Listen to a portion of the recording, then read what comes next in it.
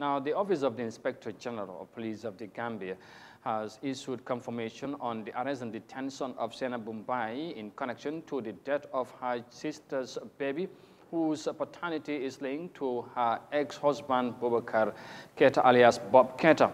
Sainabou's arrest was initiated through the Interpol, who facilitated her swift return from Senegal with the deceased child. Arrival, arrest and detention was communicated to the public by the police command in a statement on Friday. Mafuji Sise has more details of that in this report.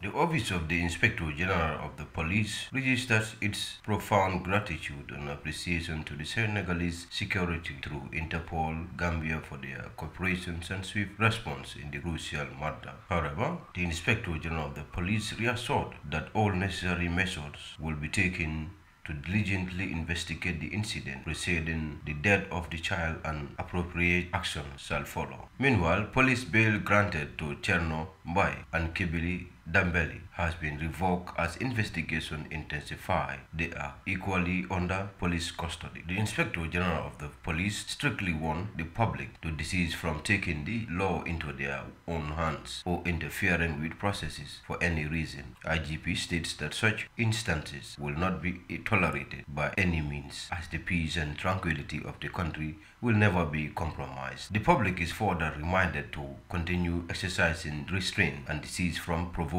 situations of unrest. All are urged to allow due process to be followed throughout. IGP encouraged public to be law-abiding all times.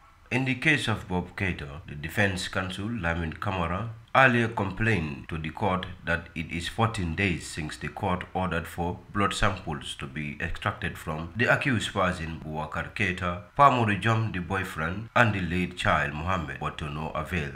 He said on 7th July 2022, Blood samples were collected from both Bubakar Keita and Pamodu Jom, the boyfriend, except the boy child. And 14 days from 7th July 2022, no blood samples is collected from the, the boy child. For Africa News, I am Mafuji Sise.